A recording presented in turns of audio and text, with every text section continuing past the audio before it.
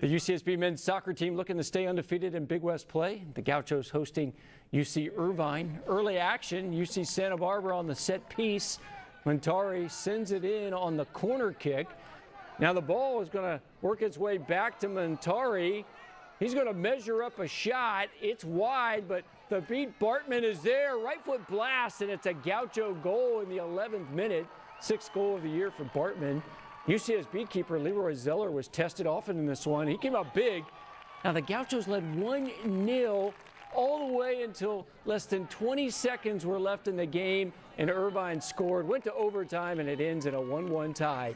UCSB is 2 0 1 now in the Big West.